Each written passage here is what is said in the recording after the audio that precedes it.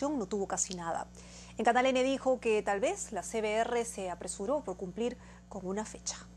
Veíamos cómo los que fueron los grandes actores en la captura de Manuel Guzmán son los grandes olvidados. Hay cosas que están funcionando al revés en el Perú y es hora de cambiar ese rol, ¿no?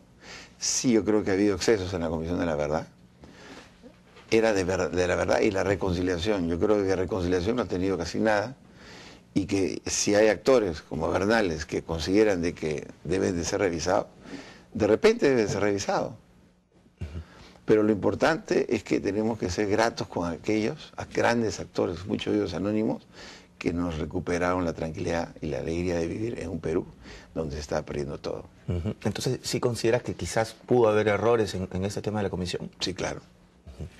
Y mucho apresuramiento de repente por cumplir con una fecha y no sé.